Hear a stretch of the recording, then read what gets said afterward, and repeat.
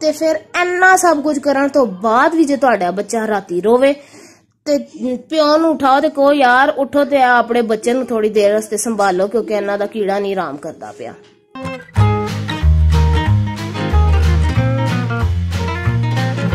अस्सलाम वालेकुम my YouTube family आप सब कैसे हैं उम्मीद करती हूँ आप सब खैरियत से होंगे ठीक ठाक होंगे आपकी मेजबान मानो एकदम शानदार जबरदस्त जिंदाबाद तो आज की वीडियो बच्चों के बारे में मैं आपको बताऊँगी कि मैं कौन सा तरीका अपने बच्चों पे अप्लाई करती हूँ, जिसकी वजह से थोड़े सुकून में रहते हैं, क्योंकि अक्सर बच्चे रात में बहुत ज़्यादा तंग करते हैं। तो आज की वीडियो में मैं आपको बताऊँगी कि आप अपने बच्चों को खाने में क्या कुछ दें तो आपके बच्चे हेल्दी रहेंगे, और इसके अलावा क्या क्या ऐसा काम आप बच्चों के साथ करें जो रात को बहुत तंग करते हैं तो उससे थोड़ा सा छुटकारा आपको मिलेगा। तो चलते हैं अपनी वीडियो की तरफ़। जी तो चले सबसे पहले स्टार्ट करते हैं हम लोग अपनी बच्चों के खाने जो मैं जैनब को खिलाती हूँ। जैनब को मैं सिरे सिरेलैक देती हूँ चावलों वाला। ये मैं आपको दिखाती हूँ। सिरे, ये चावलों वाला सिरेलैक मैंने जैनब को देना होता है।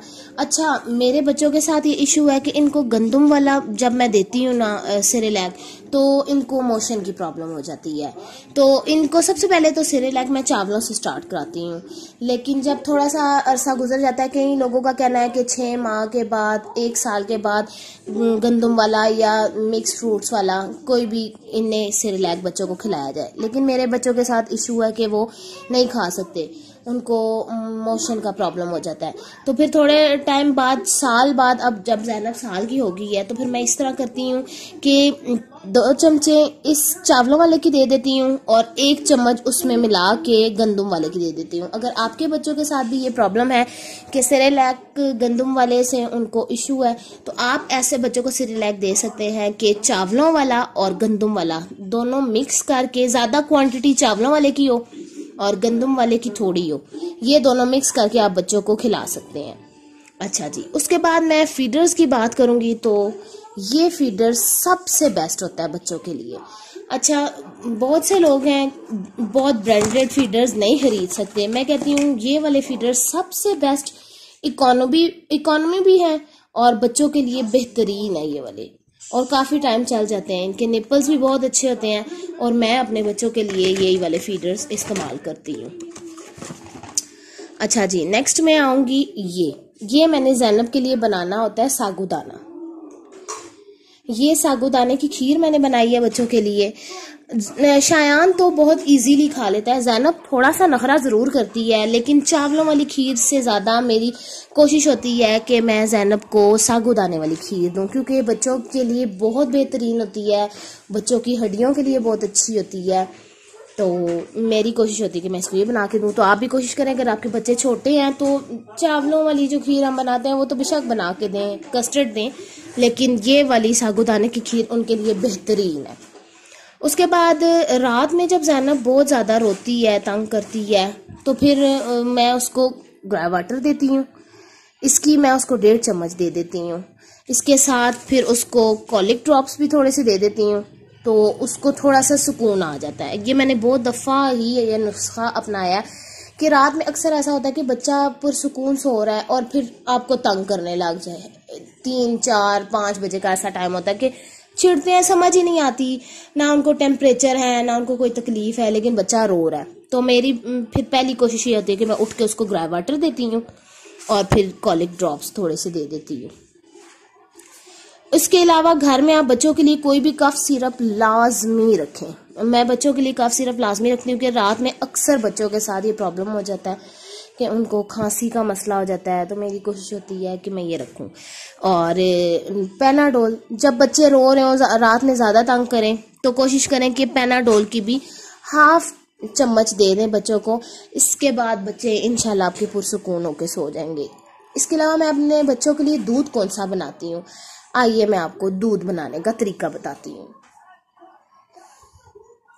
जी तो चले मैं आपको दूध बनाने का तरीका सिखाती हूँ, जो मैं अपने बच्चों के लिए बनाती हूँ, और बहुत अच्छा रहता है ये वाला दूध, खुला दूध। ये कप हमने डालने हैं दो इसमें।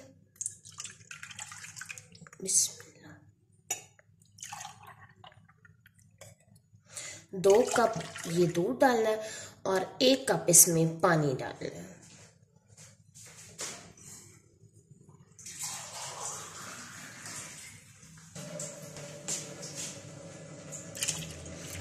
और अब इसको हम लोगों ने रख देना चूल्हे पे।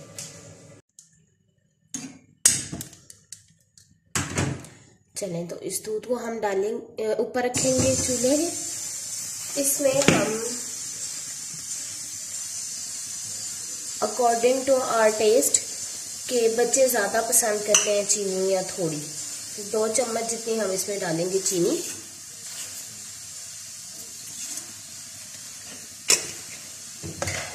इसमें हमने डालनी है सौंफ थोड़ी सी। ये मैं आपको दिखाती हूँ कितनी मैं डालती हूँ। इतनी सी सौंफ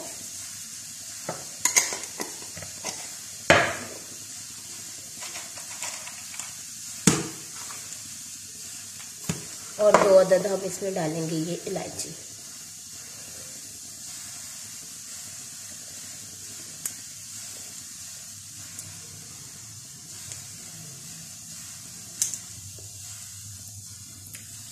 और अब इसको बॉईल देंगे।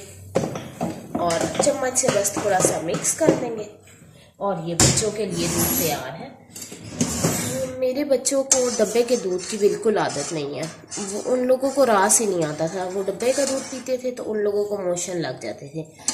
तो फिर मुझे किसी ने खुले दूध का ये तरीका बताया था और इसी तरीके से मैं अपने बच्चों को ये वाला दूध पिलाती हूँ, जो उनके लिए बहुत अच्छा भी रहता है, इससे उनकी सेहत भी ठीक रहती है। और बच्चे शौक से दूध पी भी लेते हैं। और जैसा कि आप लोगों को पता है कि आजकल दूध डब्बे वाला तो खैर हम उसको फार्मूला कहेंगे, वो तो दूध है ही नहीं। तो मुझे लगता है क्या उससे बच्चों की सेहत बननी, जो मोटे भी हो जाते हैं, वो शेवर मुर्गी की तरह फोके से सूज तो जाते हैं, लेकिन उनमें जान नहीं होती या वो एक्टिव उस तरह नहीं होते। तो बेस्ट यही है कि आप उनको ये फ्रेश मिल्क दें। इससे उनकी सेहत भी ठीक रहेगी और बेचारे जो कुछ पी रहे हैं, कुछ उनको लगेगा तो सही ना। कुछ लोग ये भी शिकायत करते हैं, मैंने अक्सर सुना है माओ से क्यों कह रही होती हैं कि खुला दूध पीने से बच्चों को कॉन्स्टिपेशन की शिकायत हो जाती है, या उनको रास नहीं आता ये वाला दूध। लेकिन अगर आप इस तरीके से तीन चौथाई दूध हो और एक चौथाई आपका पानी हो मिक्स करके आप उनको बना के देंगी तो मुझे उम्मीद है कि बच्चों को किसी किस्म की कोई प्रॉब्लम नहीं होगी। सौंफ और इलायची डालने का इसमें मकसद यह है कि सौंफ से उनको गैस्ट्रिक इशू जो रहता होगा मड़ोड़ वगैरह का, उससे भी उनको छुटकारा मिलेगा और इलायची से उनको रेशे का भी प्रॉब्लम नहीं होगा। ये दूध पानी डालने से हल्का हो जाता है इसकी तासीर तो फिर बच्चों को इनशाला कॉन्स्टिपेशन का भी बिल्कुल मसला नहीं होगा। जैनब जब शायान था, उसको तो डॉक्टर ने रिकमेंड किया था कि आप दूध पिलाएँ डब्बे वाला। दो, चार छः महीने मैंने उसको ज़बरदस्ती पिलाया, लेकिन उसका पेट गड़बड़ गड़बड़ ही रहा। तो फिर मुझे कि अम्मी लोगों ने सबने कहा कि इसको खुला दूध लगाओ, ऐसे कि तीन चौथाई दूध और एक चौथाई पानी हो। फिर मैंने ऐसे करके अपने बच्चों को पिलाना शुरू किया। पहले शायान ने भी यही पिया और जैनब तो जबकि पैदा हुई, मैंने थ्रू आउट उसको दिया ही ये वाला दूध, जिसकी वजह से वो भी माशाल्लाह बिल्कुल ठीक है और रेशे वगैरह की भी प्रॉब्लम नहीं होती बच्चों को। जी तो देखें वेवर्स दूध को बॉयल आ गया अच्छी तरह। अब हमने ये चम्मच हिलानी है इसमें और चूल्हा नीचे से बंद कर लेना बस अब ये दूध आपने थोड़ी देर के लिए ढक के रख देना और इसके बाद छान के बच्चों को पिलाना इनशाला देखिएगा कि आपके बच्चों को बहुत सूट करेगा और इनसे उस, उन लोगों की सेहत भी ठीक होगी। मेरे बच्चों की सेहत पे ना जाइएगा, मेरे बच्चे आई सूखे कांगड़े। लेकिन मेन बच्चे के मोटा होने से ज़्यादा इस चीज़ का ख्याल रखना चाहिए कि बच्चा एक्टिव होना चाहिए और अपनी एक्टिविटीज़ को अच्छे तरीके से बंदा, बच्चा करता हो।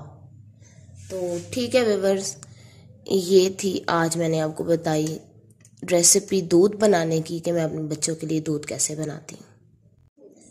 तो चलें जी, दूध बनाने का तरीका आपने देखा है। आप ज़रूर ट्राई कीजिएगा जिन लोगों को डब्बे का दूध नहीं सूट करता और वो फ्रेश मिल्क अपने बच्चों को देना चाहते हैं तो जिस तरीके से मैंने आपको दूध बनाने का तरीका बताया, इस तरह आप बच्चों को दूध पिलाएँ।